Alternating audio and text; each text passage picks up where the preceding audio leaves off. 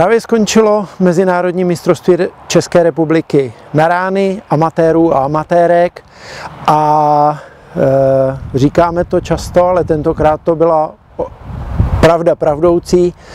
Finále bylo strhující, když v rozehrávce sice přišel o titul náš Filip Jakubčík, kterého porazil německý hráč Leon Brajma, ale rozehrávka byla velice napínavá a Leon vyhrál eh, čipinem do iglu na 18. jamce Karlových Varech veliký zážitek.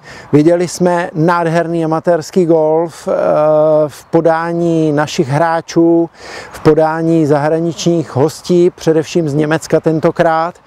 Takže jsme velmi hrdí na to, že eh, Mezinárodní mistrovství České republiky se pomalu dostává mezi prestižní mezinárodní šampionáty v Evropě a hráči se jezdí velice rádi.